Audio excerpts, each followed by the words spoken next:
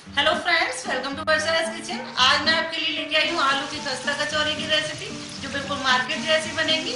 अगर आपको वीडियो अच्छी लगे तो इसे लाइक करें शेयर करें चैनल को सब्सक्राइब करें। साथ ही बेल आइकन को प्रेस करना ना भूलें, जिससे आपको हमारी आने वाली सभी वीडियोस की अपडेट मिलती रहे। तो आइए शुरू करते हैं खस्ता कचौरी बनाना। आलू की खस्ता कचौरी बनाने के लिए मैंने लिए 250 ग्राम मैदा, तीन चम्मच सूजी और रिफाइंड ऑयल जिसमें हम कचौड़ियों को फ्राई करेंगे और डो में डालेंगे। कचौड़ी की स्टफिंग बनाने के लिए मैंने लिए हैं चार से पाँच उबले हुए आलू। आधा चम्मच कटा हुआ अदरक ग्रेट किया हुआ। एक हरी मिर्च, बारीक कटी हुई, हरा धनिया। मसालों में मैंने लिया है आधा चम्मच लाल मिर्च पाउडर, आधा चम्मच गरम मसाला, आधा चम्मच अमचूर पाउडर और आधा चम्मच सौंफ और नमक स्वाद के अनुसार। पहले हम कचौड़ियों के लिए डो तैयार कर लेते हैं। तो उसके लिए सबसे पहले मैदे को छान लेंगे। सूजी को भी डाल लेंगे। इसको अच्छे से छान लें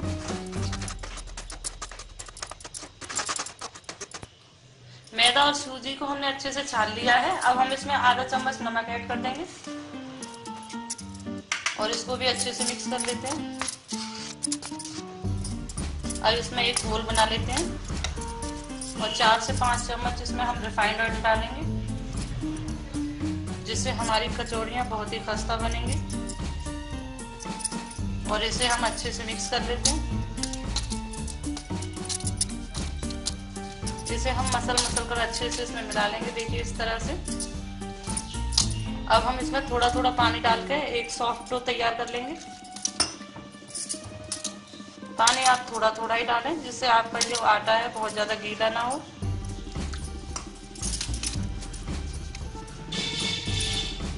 थोड़ा सा पानी और डालते हैं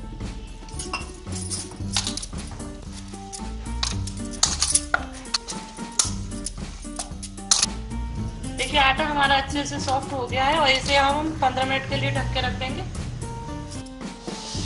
कचौड़ी की स्टफिंग बनाने के लिए सबसे पहले हम आलुओं को ग्रेट कर लेते हैं। आप चाहे तो अच्छे से मैश कर ले हाथों से। आलुओं को हमने अच्छे से ग्रेट कर लिया है। अब हम इसमें मसालों को ऐड कर देंगे। गरम मसाला पाउडर अमचूर पाउडर सौंफ लाल मिर्च पाउडर और टेस्ट के अकॉर्डिंग हम डालेंगे नमक। इसे अच्छे से मिक्स कर देते हैं। पैन को हमने गरम कर लिया है स्टफिंग बनाने के लिए। इसमें हम दो चम्मच ऑयल डाल देते हैं। तेल हमारा गरम हो गया है तो इसमें हम ये अदरक डाल देते हैं। अदरक हमारा कलर छोड़ने लगा है तो अब हम इसमें ये हरी मिर्च ऐड कर देते हैं। इसे भी हम एक बार चला देते हैं।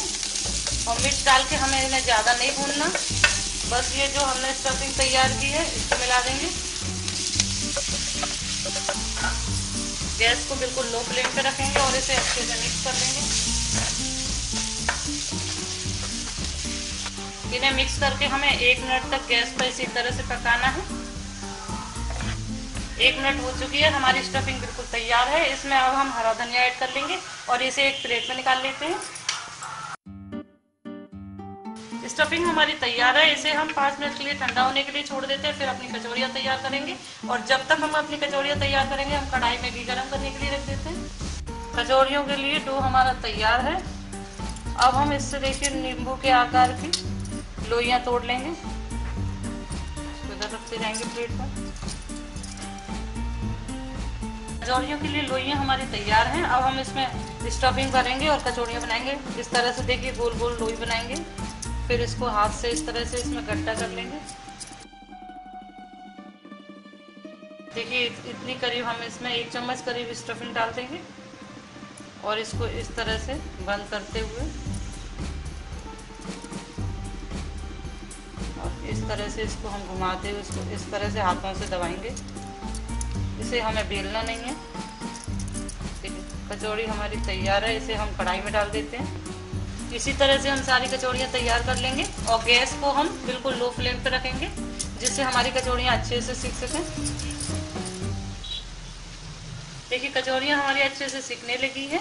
इसे हम पलट पलट कर अच्छे से फ्राई करेंगे, जिससे हमारी काफ़ी खस्ता बनेंगी। कचौड़ियों को सीखने के लिए कम से कम 10 से 12 मिनट लगेंगे।